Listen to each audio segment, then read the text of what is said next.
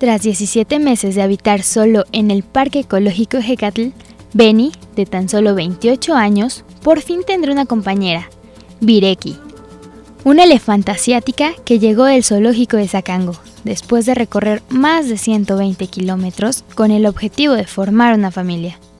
Significa un gran logro nuevamente de esta administración, la cual ha logrado base, a base de una gestión a que traigan a, la elefanta Vireki, que va a ser un gozo y un placer para los niños ahora que ya se puede exhibir. Le agradecemos al gobierno del estado. Nos presentaron un programa que pudiera tardar cinco años, a lo mejor es antes, esperamos que sean cuatro o en tres años y medio.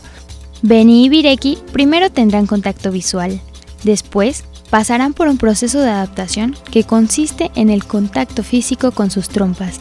Y al lograr la empatía, sus cuidadores determinarán si están listos para comenzar con el proceso reproductivo.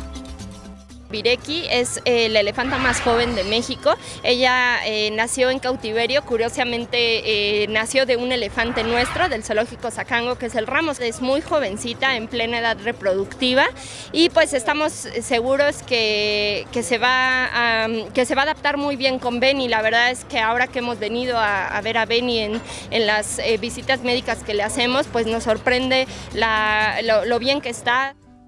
El encuentro de este par de enamorados fue gracias al traslado que estuvo a cargo de la Semarnat y los gobiernos del Estado de México y municipal.